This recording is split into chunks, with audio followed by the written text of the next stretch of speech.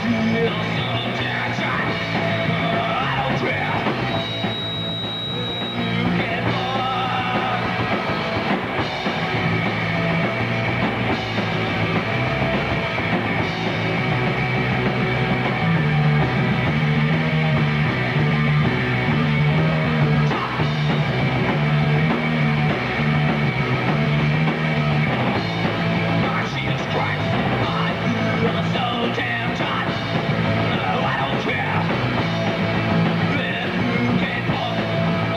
This is KXR Sunshine Kids broadcast at 8.